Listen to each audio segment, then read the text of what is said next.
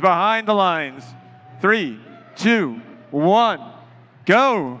Oh, these are the finals. The first alliance to two wins will be our Lake Superior champion.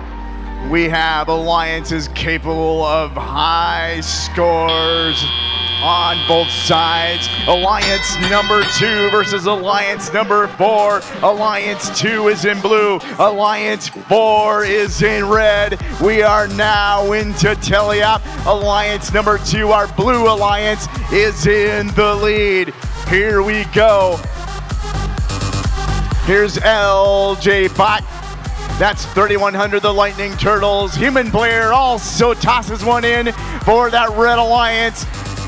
Lightning Turtles score again. Oh, look at that reef over on Blue Alliance. Two more to go before they have that fourth level all filled up. Nicely done, Blue Alliance. Blue Alliance, Alliance number two with a healthy lead.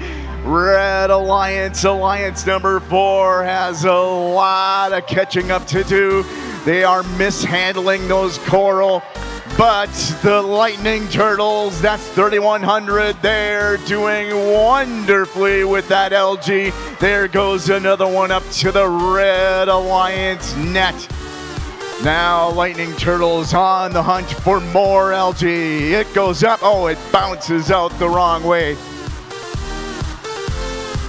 Alliance number two is scoring pretty much at will.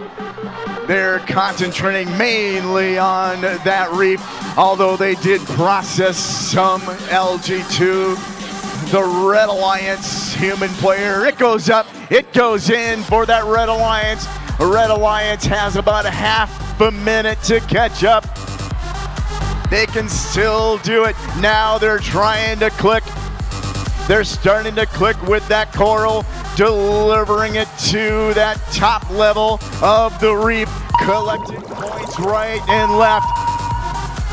34 point lead for the Blue Alliance. Not insurmountable, but might be difficult to do.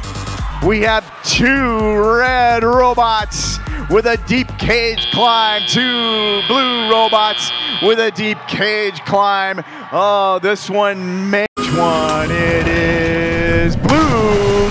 Blue Alliance, our second seed alliance, takes that first match in the finals.